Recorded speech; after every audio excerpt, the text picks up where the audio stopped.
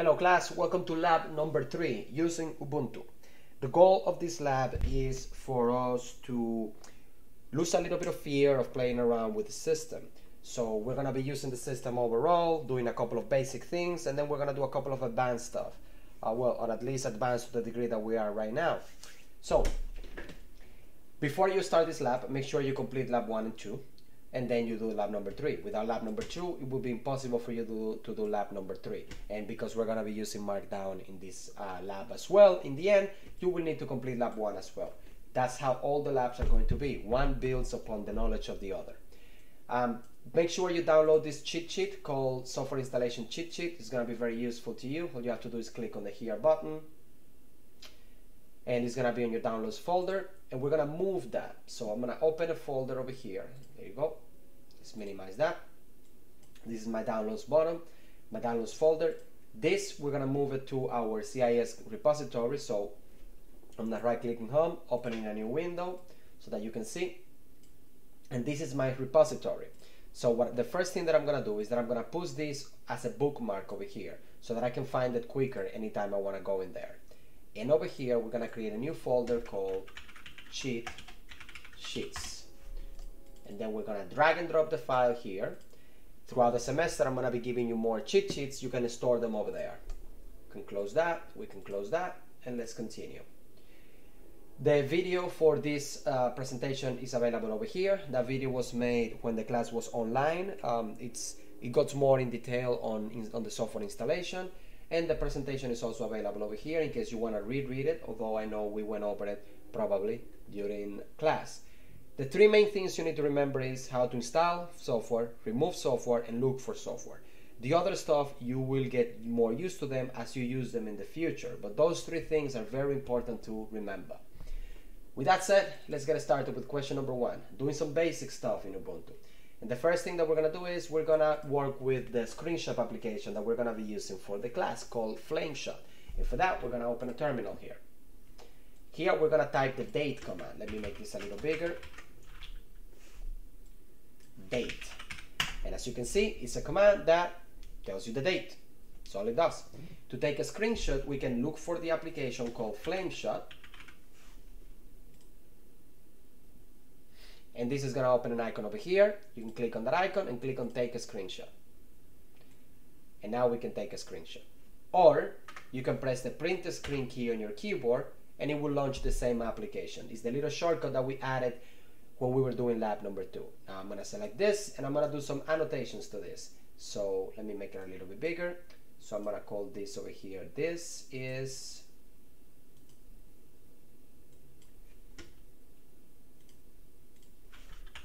the command. Oops, sorry. I escaped by mistake. Oh, by the way, if you want to exit that, just press the escape key on your keyboard. Okay, so we are going to highlight this. I'm also going to highlight this.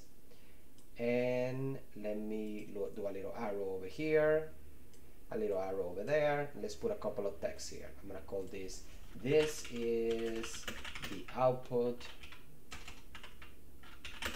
of the command. Then here I'm going to type here. This is the command. Perfect. Now I'm going to click on save. I'm going to go to CIS 106, labs, and in here we don't have a folder for lab 3, so we need to create it. So click on the create icon on the corner and name it lab 3. All the files for lab 3 are going to be stored over here this screenshot, we're gonna call it date command.png. And then we're gonna click on save. Make sure that you're inside lab number three and that you have named the file correctly and then click on save. We don't need the terminal open and we close it. Notice that I try to keep no more than two applications open while I'm working on my virtual machine. You need to be cheap with the applications that you open because don't forget this computer has only two gigabytes of RAM and a dual core CPU, so it's not very powerful. So try to be smart about how many applications you open. If you don't need it, close it. Now we're gonna create a desktop shortcut for our website, right? We're gonna create it right over here so that we can just double click and it launches our site. So the first thing that we're gonna do is that we're gonna open a text editor. So we are gonna click over here, and we're gonna look for the word text. This is our text editor. Over here, we are gonna copy all of these guys and we're gonna paste it right over here.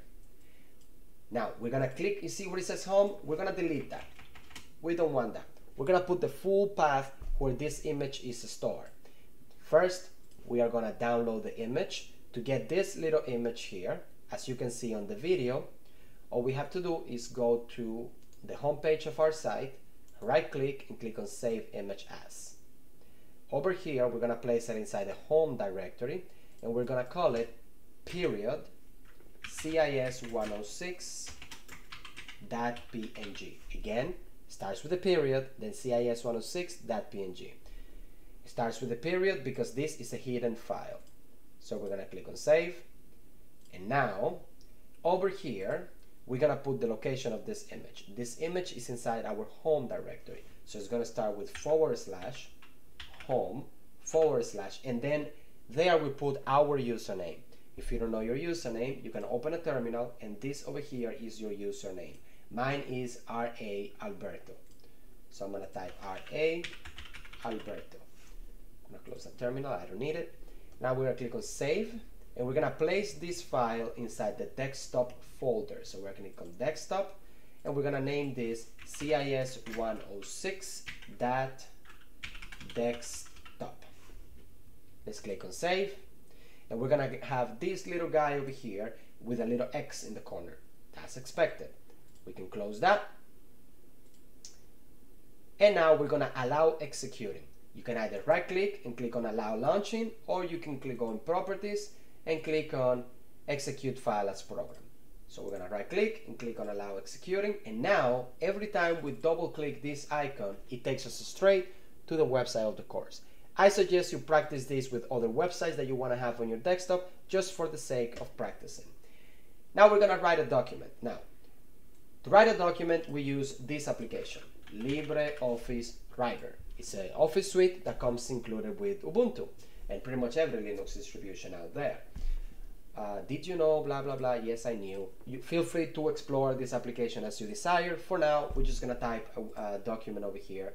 So what I'm gonna do is look for Linux Wikipedia here and let's pretend I'm you know writing about Linux so I'm gonna type here Linux I'm gonna make this uh, title title of the document and insert can I insert a line you know an object formula none of that yeah probably is an option for inserting a line right over here. I like to put a line over here just for the sake of it.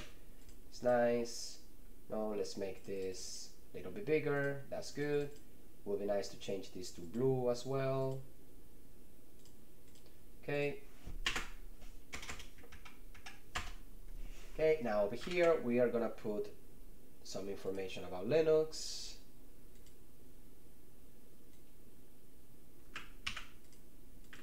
Just paste that over there, it doesn't really matter. Let's copy this image, why not? Let's put it in here. That's good. And that's good enough. So I'm gonna click on File, Save As, and this allows me to save the document as any of the formats that we see over here. For example, if you want to save it as a an Office document, right? Microsoft Office, you can check Office 2007 to 365 to docx right over here, Word 2007 to 365, and now this is a Word document. I'm gonna place it over here inside Labs, Lab 3, and I'm gonna name this Linux. I'm gonna save it, and yes, I wanna use Office format because I'm gonna be saving, sending this to somebody that only has Microsoft Office. We can close that. Now, if I want to convert this file to PDF, we can just simply click over here and then click on export. Sorry, not export. There is an actual option for that. Export as, export as PDF. Export, and we're going to save it in the same place. Click on save. And that's it. Feel free to play around with LibreOffice as you desire. Feel free to, to, write, a, to write an essay in it. That, that shall be fun. Okay, next we are gonna create a presentation. So we're gonna go over here and we're gonna go on Libre, LibreOffice and we're gonna open Impress. And we're gonna choose Blueprint Plans, that's fine. And we're gonna call this one Ubuntu. Okay, I can see Ubuntu Linux. Right and here we can just uh, why not? Let's just put some dummy text here. Why not? Ubuntu Linux. And here we are gonna search for Ubuntu. Let's just get it directly from Wikipedia. Why not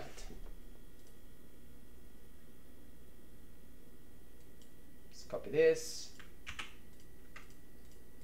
paste it right here and here Let's copy this image, paste that over here. Oops, sorry. Save image as. Let's call this Ubuntu. And why not putting it inside our labs folder, lab number three, and save. Then insert image and we're gonna look for the image that's inside CIS 106, labs, lab 3, and it's called ubuntu.png.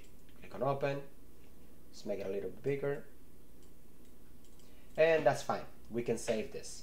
So I'm gonna click on file, save as, CIS 106, labs, lab 3, and we're gonna call this Ubuntu presentation. And again, we can save as ODP, ODF, or we can save it as PowerPoint 2007 365 and that's going to be a presentation that you can send somebody that has Microsoft Word, Microsoft Office and they'll be able to edit this file with no problem. Now if we want to export this file we can do that as well. We can export as PDF, no problem. We're not going to do that, we're just going to close this. Next, we are going to play around with the settings of Ubuntu. A couple of things we want to do in there that are fun. Alright, so to open the settings, we can just click over here and click on settings, or we can search it as an application over here. So the first thing that we want to do is we want to change this background here. So when you click on background, you can choose any of the predefined sets over here. That's how it looks, it doesn't look bad. But you can also add your own image. So how about we do that? So we're gonna go to this website over here, Wall, Wallhaven, and we're gonna look for a wallpaper we like. I like that one, so I'm gonna use this one.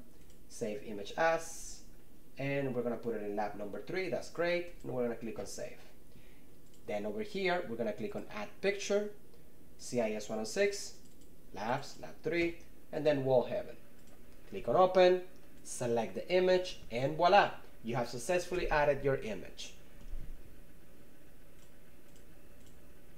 next we're gonna play around with the appearance of Ubuntu right over here so I'm gonna open a file manager over here so that you see the changes as they happen live.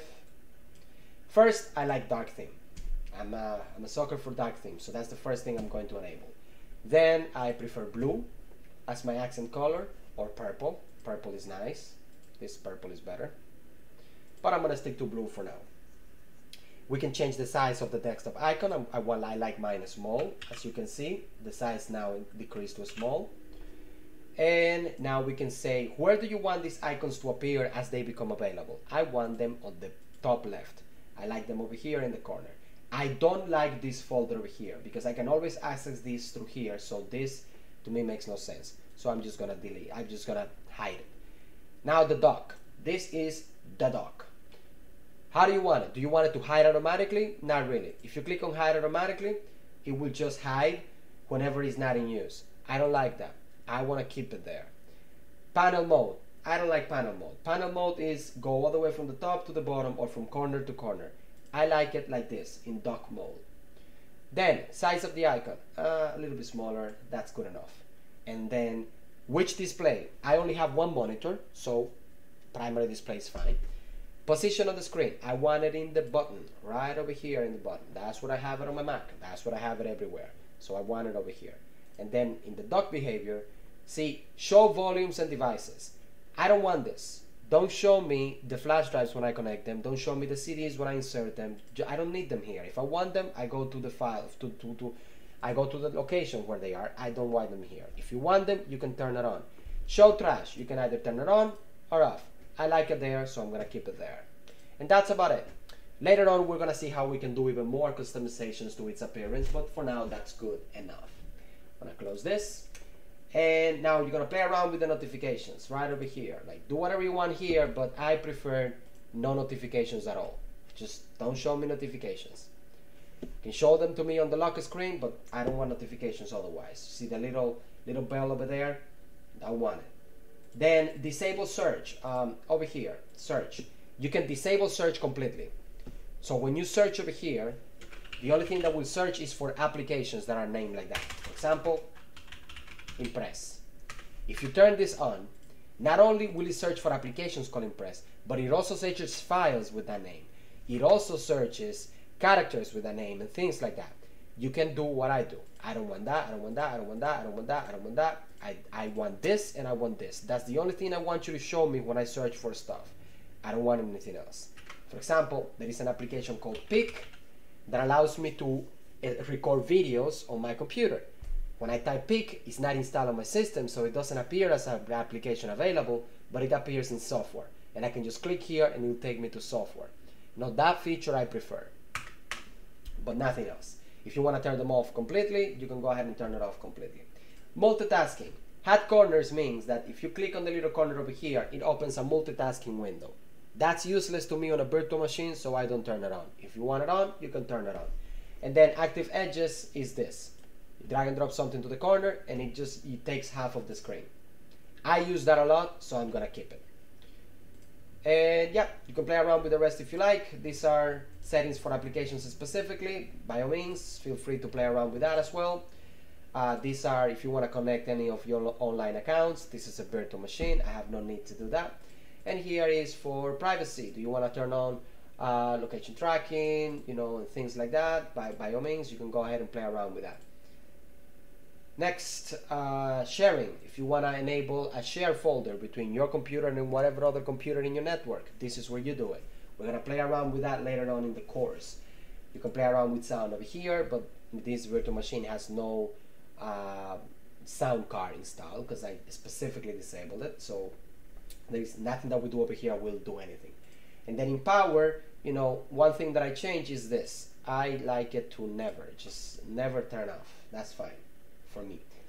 If you want to play around with the display, this is where you do, you know, we change the, the resolution of the screen, change the orientation of the screen and things like that.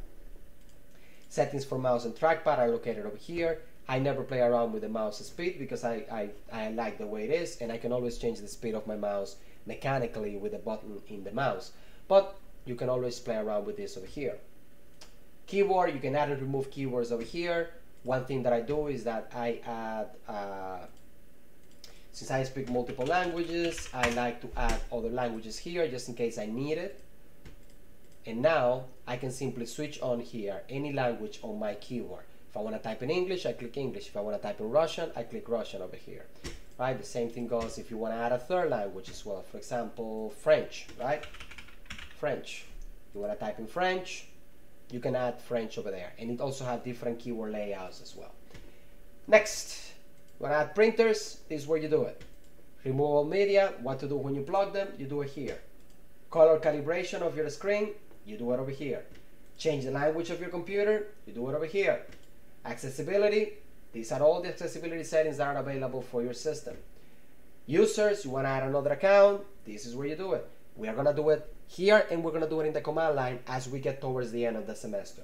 If you want to change the default applications, you can do it over here. For video, I prefer VLC, so I'm gonna change it to VLC. And then for music, I don't want the videos application. I want Rhythmbox. For calendar, I don't have I don't have another calendar application.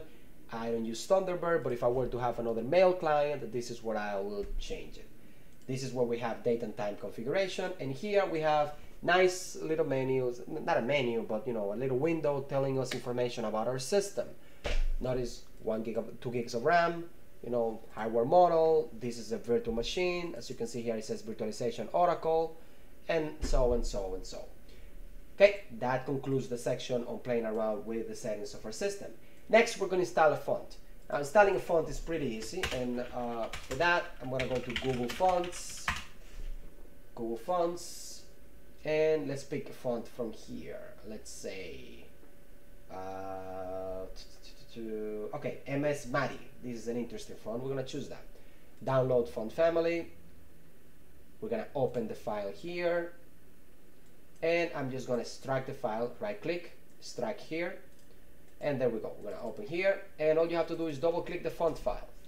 Click on install, and your font is gonna be available in your system. If you wanna test it, we can open LibreOffice, LibreOffice Writer, and we're gonna type here, hey there, I love Ubuntu.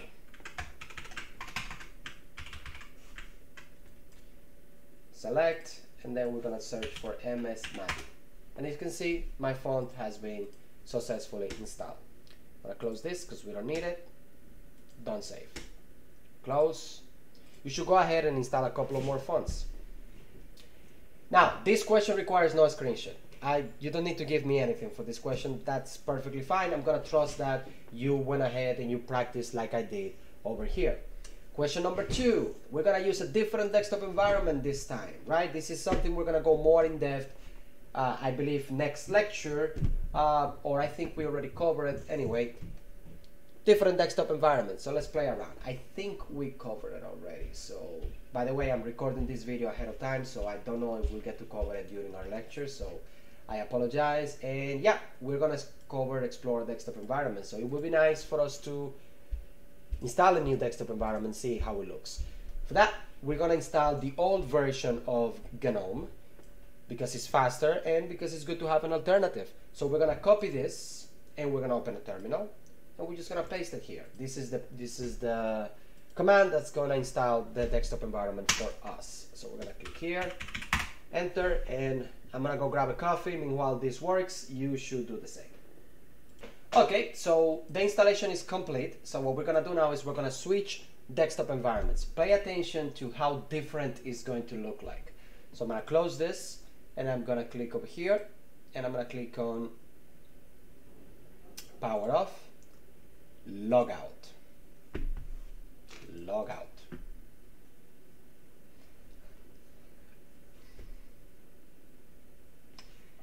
Click on your username but then click on the little gear icon over here in the bottom right corner and click on GNOME Flashback Metacity. Click on type your password.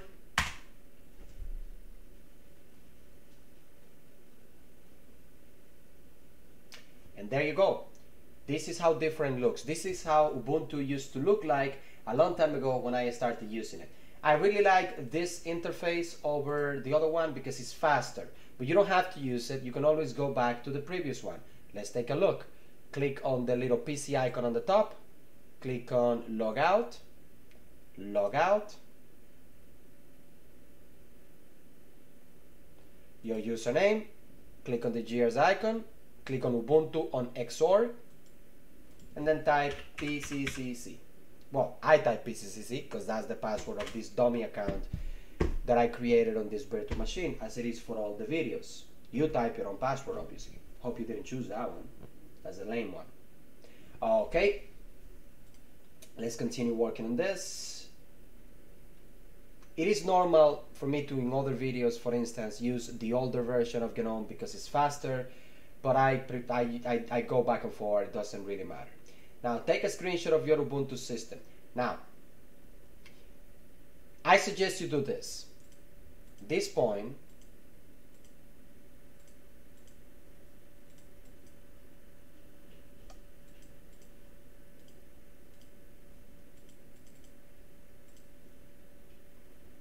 okay for some reason it doesn't want to this doesn't want to work. Okay that's weird. I'm just gonna restart the computer it's a good opportunity to see a new, to see a new command if you want to restart your computer you can just type restart in the command line that works.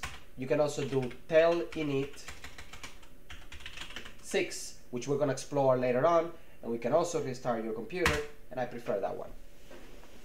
So give it a second until the computer comes back online. I will continue using the classic version for the rest of the video so that you see how different it looks like, considering that you already saw how the regular Ubuntu with GNOME 42 looks like. So I'm gonna type PCCC here and I'm gonna go back Metacity and enter.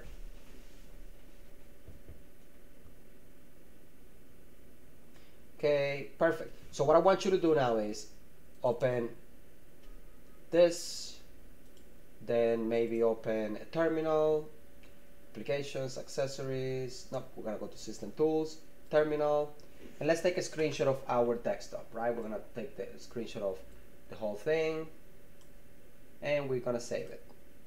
We're gonna call this question two. We're gonna put it in lab number two and click on save. And that's it. We have completed question number two. I'm gonna back, I'm gonna go back and open the website.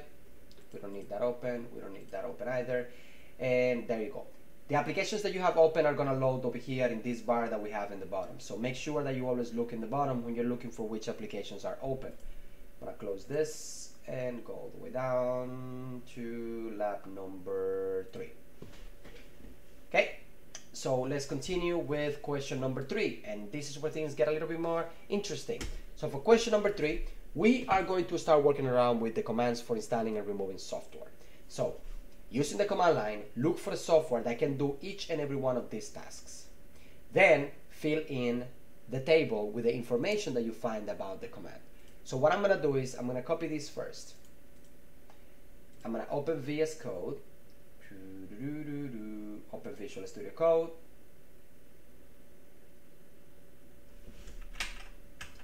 I'm gonna put VS Code in one corner and I'm gonna put the other stuff in the other corner. Make sure that you have your folder open. Make sure that here says CIS 106 at your folder. Make sure. And now I'm gonna click on Lab 3 and I'm gonna click on New File. I'm gonna call this lab3.md for markdown and then I'm simply gonna get started. I'm gonna click on name, your name goes here, your name goes here, and then here semester fall 22. And then we're gonna put a title called lab 3 submission. Then here, question one has no submission. But if you want to put the picture that you took over here when you were doing question number one, you're welcome to do so. For example, the date picture.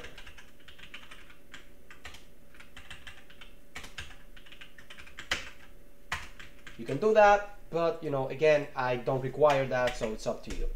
Now we're gonna do question number two.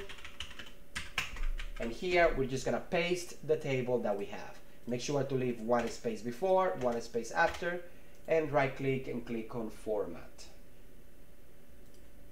We're good. So the first thing we need to find is a game, is a program that we can use to play Tetris, right? It's a game, a game called Tetris, right? I'm pretty sure everybody in the class knows what Tetris is. It's the old, that old school blocks video game, right? So what command can we use to look for files? And at this point, you know, if you don't remember, you can open a text, you can open a, a file manager, go inside cheat sheets and open your workshop, your um, cheat sheets for Italian software. Now for li listing software, we use apt list. That's not what we're looking for. We're looking for software. So for search for software, we do apt search and then the name of the software that we're looking for over here or the key phrase that we're looking for here. So we're going to open a terminal, applications, system tool, terminal. Okay. Let's put it on the corner over here. And we're looking for apt search. We're looking for a program we can use to play Tetris. What is it that we want to do? We want to play Tetris. So the keyword that I'm looking for over here is play Tetris. I'm gonna try this first and see what comes up with that. I got nothing. So I'm gonna try a single word. All right, let's say just the word Tetris. What do we get? We get a lot of results. So let's go over them slowly. So, over here, Bastet, ncurses Tetris clone with the Bastard algorithm. You know, that seems seems useful. Seems like seems like a Tetris game. Block stack, block attack, puzzle game inspired by Tetris. I like this one. This is more likely I'm looking for. If I were to play Tetris, like I'm looking for a Tetris game, you know, these two descriptions over here seems to be more likely what I'm looking for. So if I'm going to start a program, I would rather install any of these two to see which one of them, you know, is the one that I really want to play. And how did I find out? I searched the application using the word Tetris and I read the output. So, play Tetris, play a Tetris game. What do we want? We want the package name. The package name is this here. This is what we're going to use to install the package, right? So the one I want to install is called Block Attack. So I'm going to copy that and I'm just going to paste it over here. Next, what version will I be installing if I choose to install this? I will be installing version Jammy version 2.701. This is because it's from the Jammy repositories from Ubuntu. The code name for this version of Ubuntu is Jammy Jellyfish, right? And this over here will be the version and the and the this processor for it. So this is version 2.7 for a 64-bit processor. So I'm gonna click on copy and I'm gonna paste this over here. Paste. I'm gonna format this and beautiful. Next, play a video file, right? I'm gonna do that one as well for you. I'm gonna leave play music and read your email for you to do, and I will do this two for you. So these two you'll do on your own. These two I will do for you as well. So we can practice more. So let me put this on the side here. Now I'm gonna clear my screen, and for that I'm gonna just press enter and type the word clear, and this will clear my work environment, my terminal. Perfect. Now we need a program that allows us to play a file. So what type of program can allow me to play a file? Well, what type of program goes on the internet? A web browser. What type of program reads email? An email reader.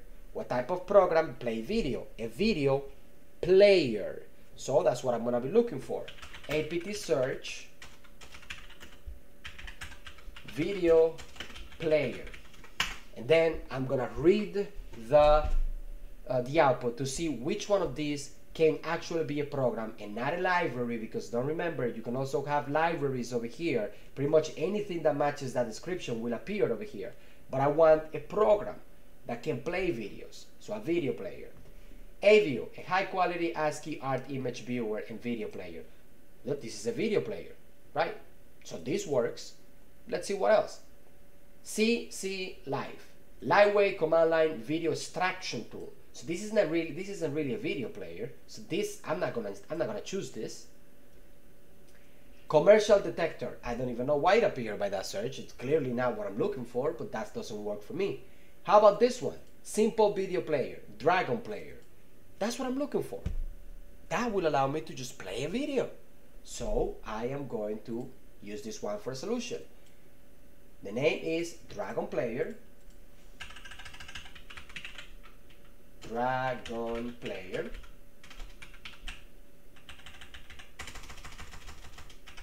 and the command will and sorry and the version will be 4 colon uh, 21.12.3 0 ubuntu amd 64 i'm gonna right click and format my document and we're good to go. Now to browse the internet. What kind of program can i use to browse the internet? Well a web browser like google chrome like firefox Epiphany, and so more. So I'm going to clear my screen again, apt search, and then here I'm to type for web browser. Oops, sorry, apt search, better. And I have a bunch of stuff again. So I'm gonna, again, I'm going to go over to the top and start reading what I get until I found what I'm looking for, right? So, world best email client. That doesn't work. I'm looking for a web browser, not an email client. Akregator, RSS atom feed aggregator. That doesn't work for me. Web browser, yay! Web browser based IRC client. Ah, this is an IRC client. I want a web browser. That doesn't work for me. Links handling support for GNOME web browser. That that's that's a library. That doesn't work for me. Web browser for Plasma Mobile. Well, this this is sort of what I'm looking for, right? This is a web browser. It's for something specific, but this works for me. You know, you could pick this one, but let's see what else we get. see here that doesn't work for me doesn't work for me doesn't work for me doesn't work no no not really how about this one epiphany browser intuitive gnome web browser this works for me so i'm gonna pick this because this does what i'm looking for. It's a web browser. So i'm gonna choose this one for installation. Okay so what's the name of the browser? This one epiphany browser. There are more options over there as well so just just so you know you don't have to pick exactly what I pick. You know you can just use the logic that I'm using to find what I'm looking for and then copy it for you.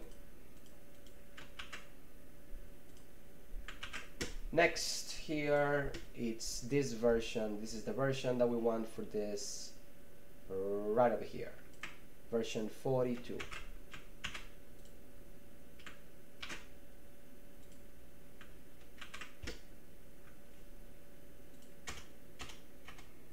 Oops, sorry about that. We need to delete from here.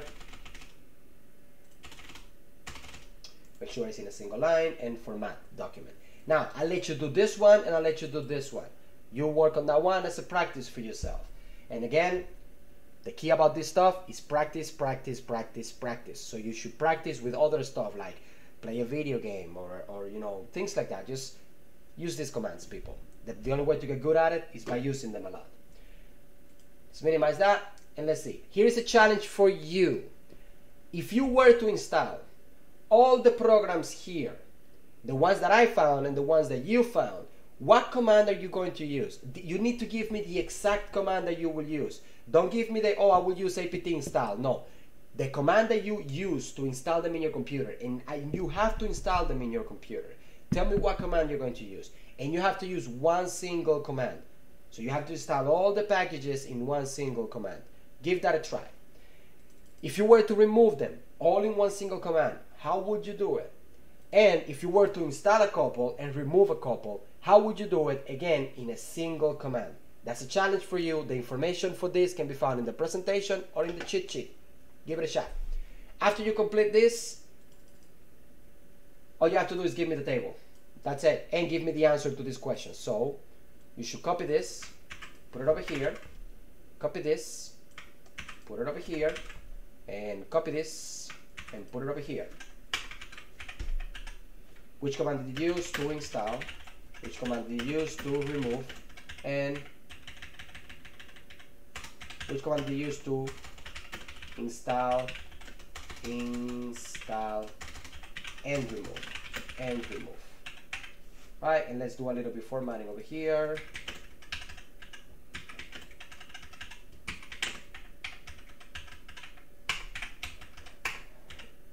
Okay, perfect.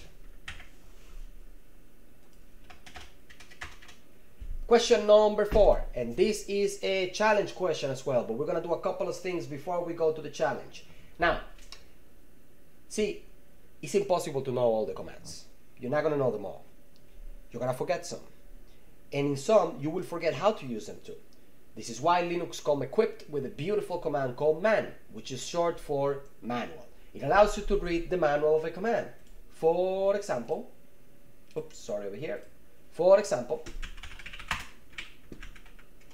if you want to read the manual page of the command date that we saw earlier, you will type man space and then the name of the command, date. It will open the manual page for date. You can read this by using the arrow keys to move up and down, left or right. You can use the space bar to jump to the next page. You can also press the H key to open the help menu that will tell you what each key on your keyboard can do for you to help you. And you can press quit to quit when you're done reading. See? Q and it quits short for quit. Again, man, and then the name of the command, like date, opens the manual page of the command.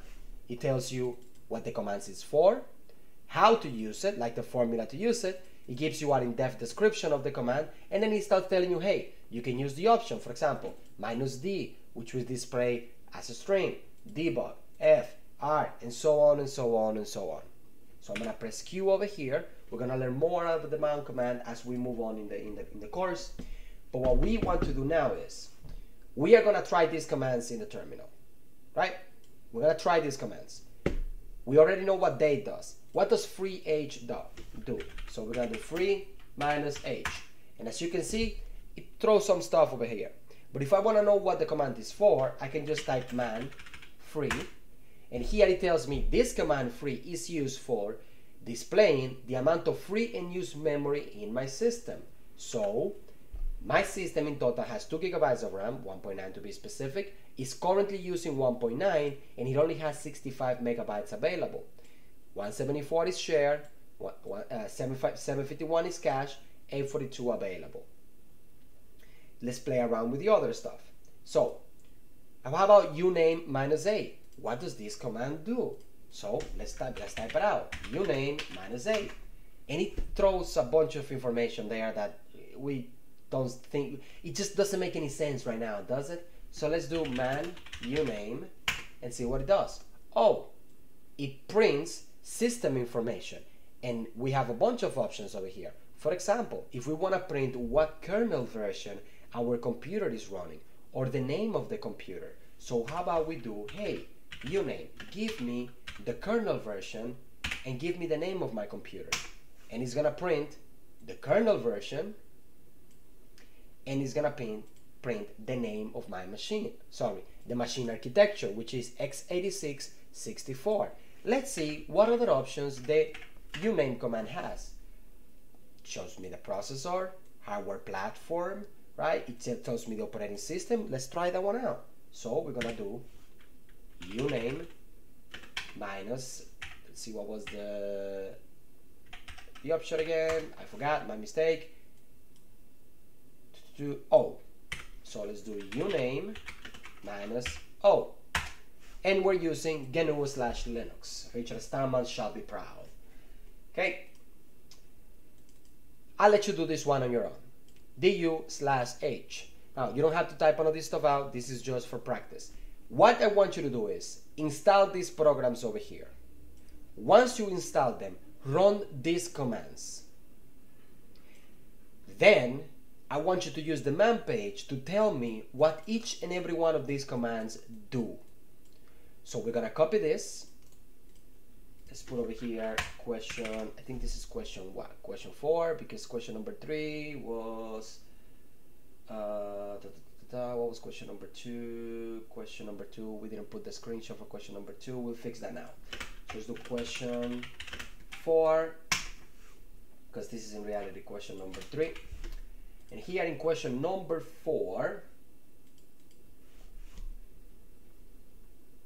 we're gonna copy this, sorry, and paste that over here. And there you're gonna give me a very short description of what the command does. I'm gonna do the first one for you. So I'm gonna do man echo. As a matter of fact, man echo. Press enter this command simply displays a line of text, right?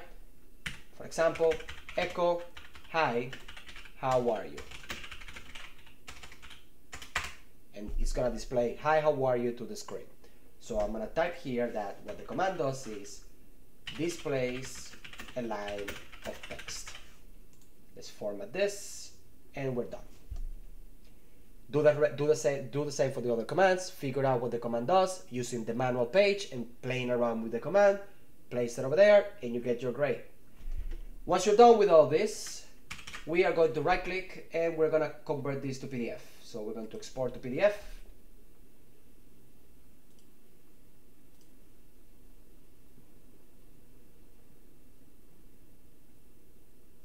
Sorry see, markdown file, name lab3.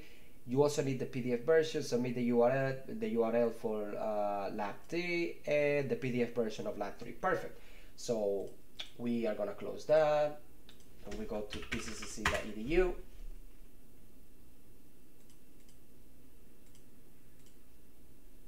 I don't want to apply. I already graduated.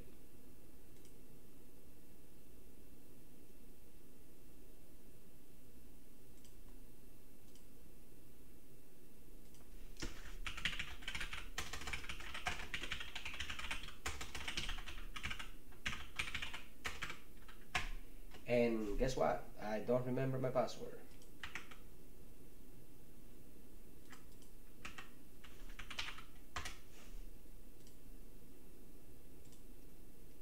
But isn't that why we have password managers for?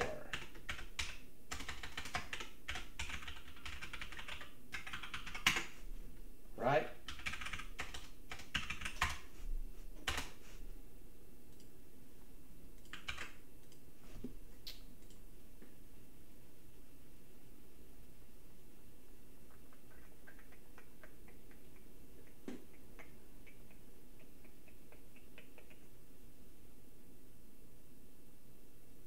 Come on, sign in. Meanwhile that's signing in, I can work we can work on this.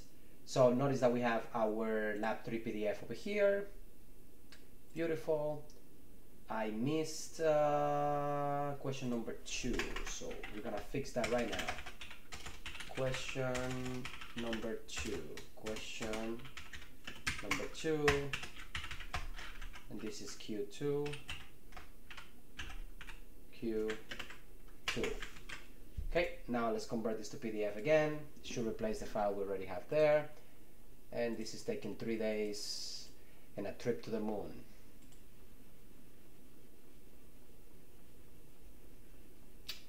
Perfect. Now we're gonna send this information to GitHub. So we're gonna do git add period, right?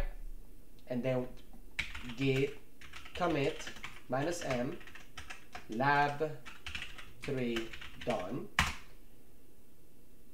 It sent everything there. Now we're gonna send that. So git push Guna read from remote repository permission denied public key. Oh, that's not bueno. That's not bueno. That's not bueno. I deleted my key for this repository online. Okay, let me fix this real quick. Okay, I fixed it already. The problem was that I deleted the old key that I had in there and I forgot to import the new SSH key. That's fixed. Everything is in there already. So if we go to github.com and we go to our repository here, we have labs, lab3, and lab3.md. So you need to give me this URL over here, right? So don't forget to give me this URL and we're gonna go to, to, to, to Linux fundamentals, labs, lab number three, and then here you're gonna give me write submission,